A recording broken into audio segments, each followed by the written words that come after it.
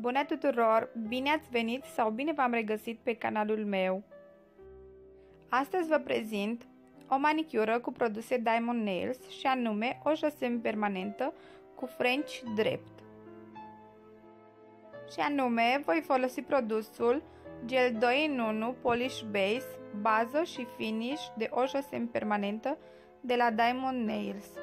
După cum vedeți, după ce am pregătit unghiuța și am aplicat nail prep și primer de la Diamond Nails, le-am lăsat să se usuce la aer, aplic uh, gel 2 in 1 Polish Base într-un strat foarte normal, îl uh, autonivelez să nu am dăre, finisez, sigilez și vârful și voi usca la lampă.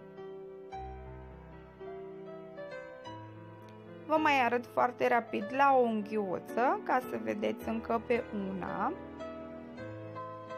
Este un produs cu strat de dispersie, adică acel strat lipicios.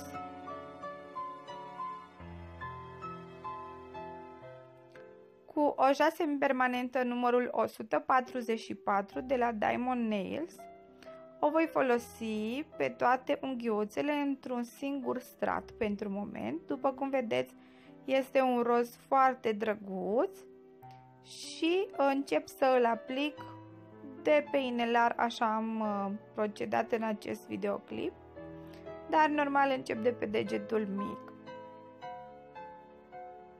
Încerc să îl uniformizez cât se poate de bine pentru a fi perfect. Vă mai arăt pe o unghiuță, pe degetul mijlociu.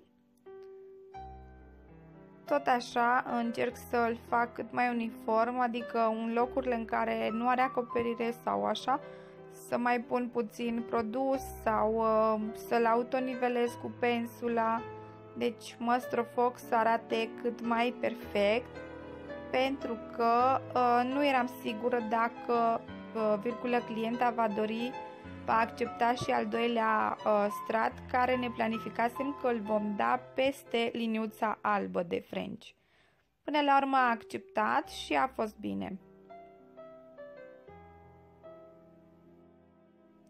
Voi folosi o jase permanentă One Step numărul 01 de la Diamond Nails, o nuanță de alb superbă, adică One Step înseamnă că o pot folosi fără bază și fără finish și nu are strat de dispersie. Deci cum ar veni după ce este pregătită unghiuța, doar aplici această culoare, usuci și gata manicura. Foarte simplu, rapid și rezistent circa 2 săptămâni, poate și 3 sau 4 în funcție de ceea ce lucrezi și cum le îngrijești.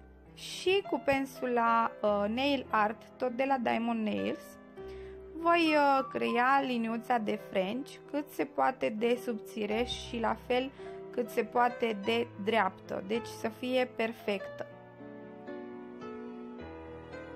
Încerc să nu-i las, după cum vedeți, în stânga și în dreapta, um, nu știu cum să zic, să nu fie groasă, să fie niște laterale foarte groase. Bine, și pe suprafață tot aceeași idee este, dar la suprafață mai reușesc să mai uh, uniformizezi puțin din culoarea care o vei pune peste.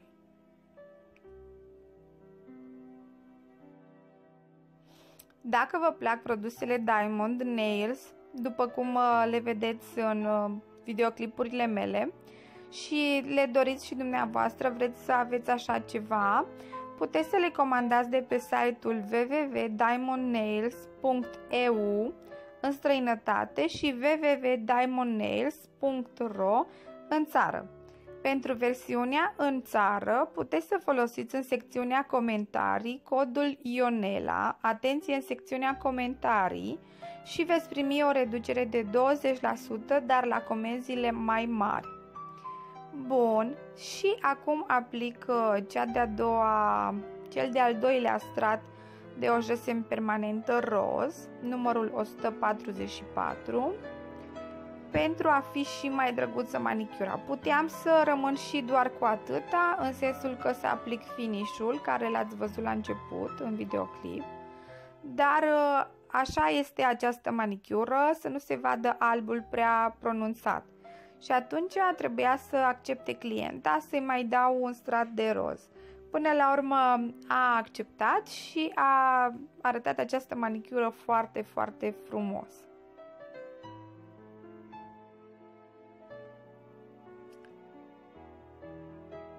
Vă mai arăt pe o unghiuță. Bineînțeles, fiecare strat îl usuc la lampă, fiecare unghiuță. Uh, nu știu să vă explic exact câte minute se lasă la lampă, deoarece eu am lămpi uh, LED UV de 48 de W sau uh, chiar una este de 60 și deci include și LED și UV și nu știu exact cât ar trebui lăsat. Dar cred că fiecare dintre voi vă puteți da seama singur în funcție de lampa care o folosiți dacă este uscat sau nu. Bineînțeles, nu uitați de stratul de dispersie, adică stratul lipicios, să nu vă speriați că nu înseamnă că nu sunt uscate unghiuțele, trebuie doar degresate. Am uscat și cea de-a doua, cel de-al doilea strat de culoare, am aplicat finish-ul care l-ați văzut la început în tutorial și pentru a arăta mult mai perfect unghiuțele, ă, după cum vedeți, pilez cu o pilă de granulație mai mică, foarte puțin la vârf, încât să îndrept unghiuța. Nu contează că îi iau uh, din finish sau din uh, nuanța de roz. Deci, cu atât mai bine că arată mult mai perfect. Acesta a fost tutorialul de această dată. Nu uitați să vă abonați la canalul meu dacă vă plac tutorialele mele, ceea ce lucrez și cum lucrez eu să lăsați comentarii cu părerile voastre și de ce nu să distribuiți videoclipurile mele pe site-urile de socializare ale voastre. V-am pupat și să ne vedem cu bine data viitoare. Pupici!